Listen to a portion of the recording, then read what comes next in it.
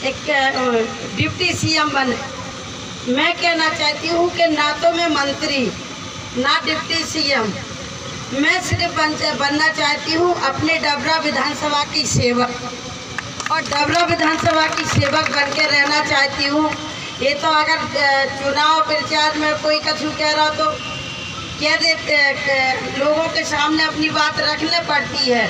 अगर जहाँ जो आदमी जैसी बात सुनने को पसंद होता है वैसी कही भी जाती है। आज ना बहुजन समाज पार्टी है ना कांग्रेस है।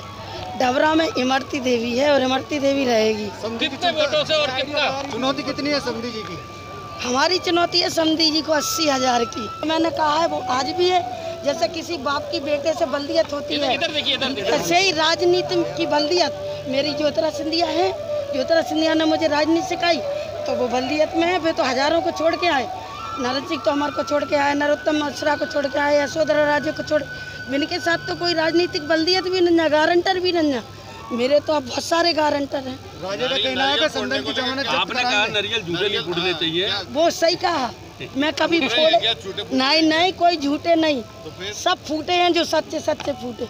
पहले नहीं पहले ही देना पहले ही पहले ही नहीं नहीं पहले ही देना। हमने कह दिया था महाराज नरेंद्र सिंह तोमर जी सम्मान्य शिवराज सिंह जी सभी वहाँ थे उपस्थित थे नरोत्तम मिश्रा जी थे। मैंने कि जो काम मेरे क्षेत्र में होगा वो सच्चा सच्चा होगा झूठा नहीं होगा। सब काम सच्चा सच्चा हो रहा। अस्सी हज़ार से जीतेंगे तो डिप्टी सीएम पक्का।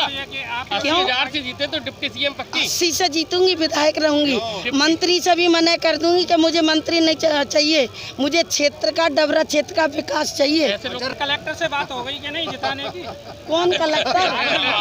इमरती देवी कलेक्टर से दूनी है। समझते हो?